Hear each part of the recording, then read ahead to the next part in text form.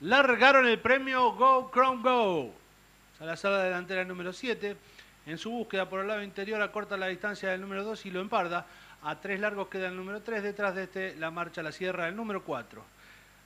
Superado ya los primeros metros de la competencia, se mantiene la lucha en la vanguardia. Hay pequeña ventaja por el lado interior de la pista para el número 2.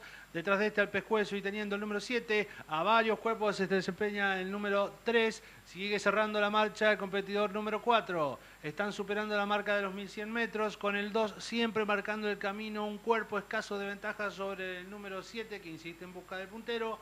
Se mantiene a varios en tercer lugar el número 3 y sigue cerrando la marcha el número 4. Están ingresando en este momento en el codo. Ahí lucha la vanguardia. Vuelve a hacerse la delantera el número 7 por el lado exterior. Quedan cabeza a cabeza junto con el número 2. Se aproxima a los puestos de vanguardia el número 3. Se cierra la marcha el número 4. Supera la mitad de codo por el lado exterior. Se afianza la delantera el número 7. A un cuerpo queda el 2. A un cuerpo de este también queda el número 3. Más atrás queda el número 4. Y en este momento los competidores se aprestan a hacer el ingreso a la recta final.